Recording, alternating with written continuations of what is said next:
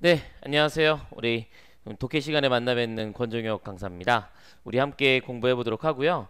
이 내용은 우리 수업 시간에 분명히 다룬 내용이거나 혹은 다뤘지만 문제를 푸는 데만 집중한 나머지 구문 독해를 제대로 집중을 못해서 구문 독해에 대한 추가적인 동영상을 한번 제작하게 되었습니다.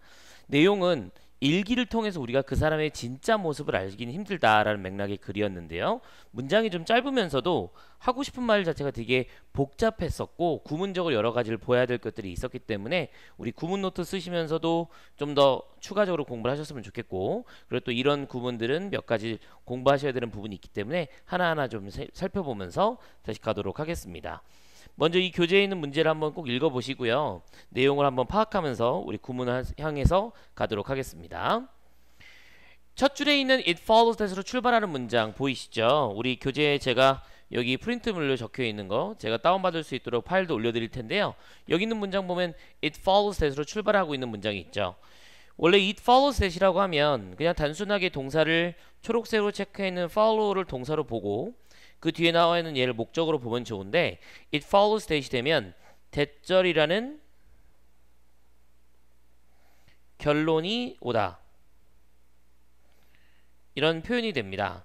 그래서 맨 앞에 나와 있는 it은 아무 의미가 없는 it이라고 볼 수 있어요. 그래서 비인칭 주어 내지는 막연하게 아무 의미 없는 it으로 쓰여졌다. 해석하지 않는 구조로 생각해 주시면 됩니다. 그것으로 해석하지 않을게요. 대절이라는 결론이 되게 됩니다. 대절 보면 every even in a diary 맨 앞에 나와 있는 거와 달리 even in a diary는 보라색으로 이렇게 묶어주게 되죠. even in a diary 그러면 보라색으로 부사. 심지어 일기장에서도 we cannot be sure 우리는 확실할 수가 없게 됩니다. getting a full revelation of a man's character 어떤 사람의 인생에 대한 이 사람의 성격에 대한 완전하게 드러냄을 얻지 못한다. 이럴 땐 의역을 해야 되겠죠. 드러냄을 얻지 못한다는 것은 그 사람의 성격을 알지 못한다. 이렇게 의역을 하는 거지. 그 사람의 성격을 완전하게 드러내는 것을 얻지 못한다는 것은 알지 못한다. 이렇게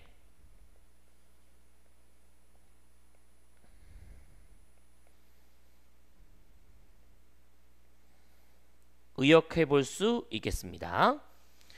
다음 문장에 보면 캐릭터 다음에 이렇게 보면 캐릭터 다음에 세미콜론이 나와 있어요. 우리 영어 공부하다 보면 많이 질문하는 것 중에 하나가 과연 세미콜론이 뭡니까? 라는 질문을 많이 하죠. 근데 세미콜론은 말 그대로 그냥 앞에 있는 거랑은 완전히 똑같진 않고 부연 설명해 주거나 병렬 구조라고 볼 수 있어요.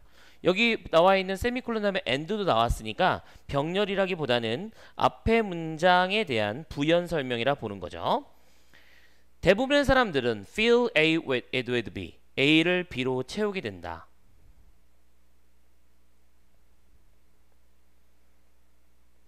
그들의 저널들 수업 시간에 얘기했지만 이건 다이어리죠.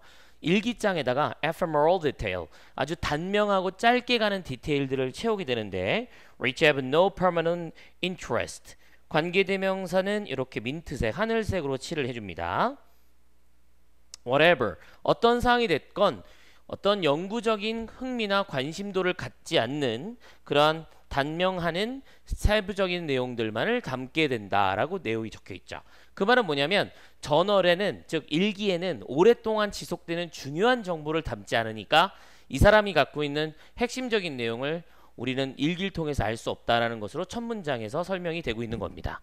그래서 문장을 첫 번째 걸로 해석을 해 보았어요. 다시 위로 올라와서 보시면 세 번째 줄에 if however 이라고 출발하는 문장을 제가 그 다음에 적어 놨습니다. 만약 however a man write a diary which he feels that nobody will ever see except himself 관계대명사를 또 묶어보죠. which부터 이만큼을 관계대명사로 묶어보겠습니다. 우리 관계대명사가 포함되어 있는 문장은 여러 번 얘기했지만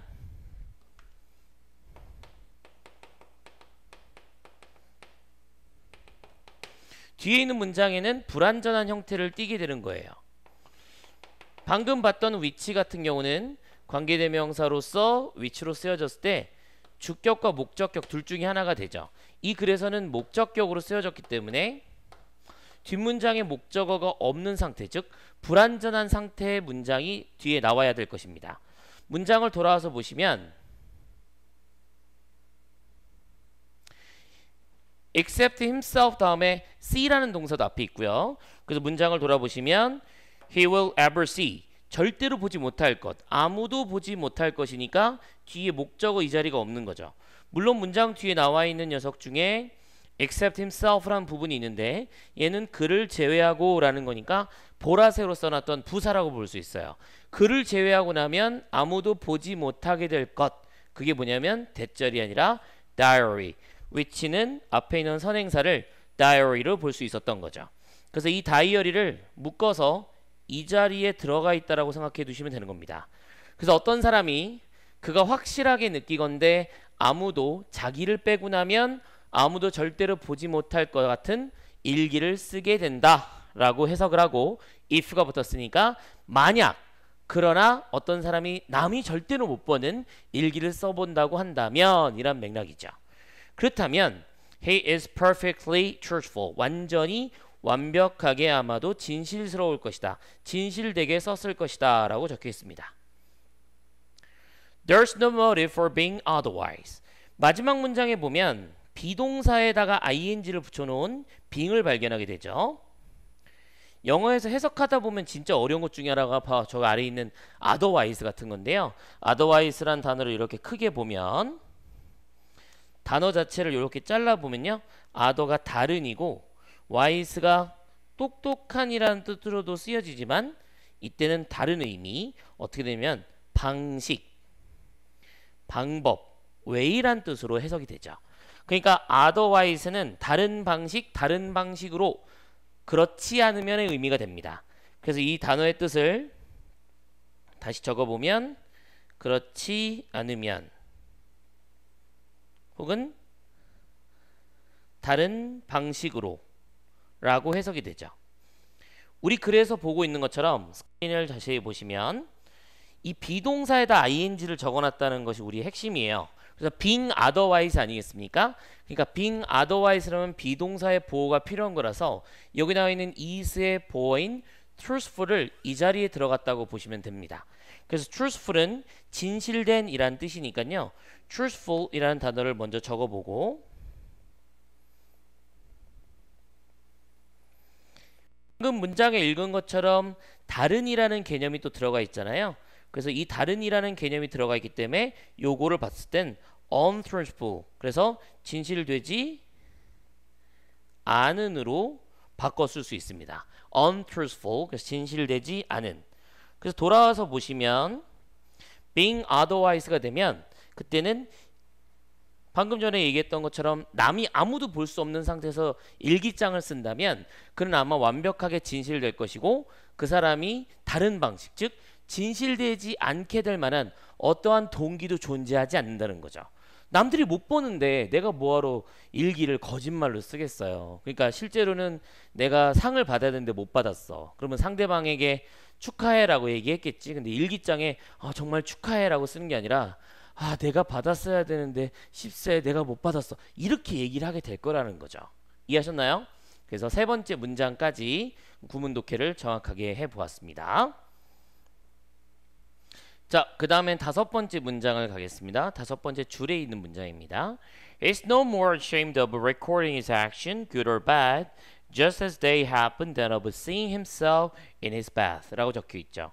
이 문장에서는 동사로 체크하고 있는 초록색이 be ashamed of ing 구조가 됩니다. 근데 이 of ing가 여기까지도 나와 있다는 게 핵심이죠. 칠판에 보시면 제가 no more a than b를 적어놨는데요. A와 B가 비교하고 있는 구조예요. 그래서 B보다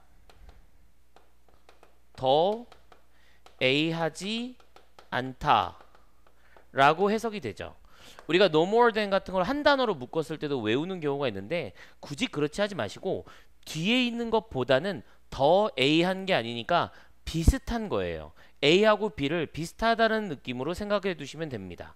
그만큼 되는 것이다. A와 B가 비슷하다고 보는 거죠. 그럼 우리 교재 우리 스크린을 다시 돌아와서 보시면 스크린에 보면 앞에 있는 recording is action이 나옵니다. 제가 생각하기에는 ashame of가 나와 있는 구조에서 노란색은 이만큼 구조가 되는 거고요. 그 다음에 주황색 구조로 seeing himself in his bath 이 두 가지가 나왔는데 노란색 내용 무- 내용 내용과 주황색 내용, 오렌지색 내용이 거의 비슷하다는 겁니다. 주황색 내용을 보면 seeing himself in his bath니까 목욕하고 있는 자기 자신을 보는 겁니다. 거기에 부끄러울까요? 자기가 그냥 샤워할 때 자기 몸을 보는 게 그렇게까지 부끄럽진 않잖아요. 근데 그거만큼이나 자신의 행동이 좋건 안 좋건 있는 그대로 as they happen 앞에 있는 복수의 대의가 될 수 있는 건 유일하게 복수명사 얘밖에 없거든요. 그러니까 행동이 발생한 그대로 좋은 일이건 나쁜 일이건 그런 행동을 기록하는 것은 앞에 있는 것, 즉 뒤에 있는 것은 똑같은 것이다. 샤워하면서 자기 몸을 보는 거나 있는 그대로 보는 거죠. 자신의 행동이나 나쁜 행동이었거나 좋은 행동이었거나 쓰는 것 자체는 둘 다 똑같이 그만큼만 부끄럽게 생각할 것이다. 웬만하면 부끄럽게 보지 않을 것이다. 이렇게 해석이 되는 것이죠. 그래서 B는 샤워하는 모습이고요. 자기 자신을 보는 거고 A에 있는 거는 행동을 부끄러워하는 것인데 더 뭐뭐하지 않는 것이니까 샤워하는 것만큼 보다 그만큼이나 보다 더 자기 자신을 있는 그대로 기록하는 것을 부끄럽게 생각하지 않는다. 그냥 그렇다고 생각한다. 라고 보시면 되는 것이죠. 자, 그래서 이 문장 자체가 대단하게 어렵다기보다 혹은 정말 좋다라기보다는 제가 시간 안에 해결해드리 못하는 부분이 있어서 추가로 구문을 몇 가지 정리를 해봤습니다. 여러분에게 큰 도움을 드렸기를 바라면서 또 이제 제가 자, 자주 이렇게 추가적인 자료로 만나 뵐 수 있도록 제가 노력해 보도록 하겠습니다. 네, 그러면 다음에 뵙도록 하겠습니다.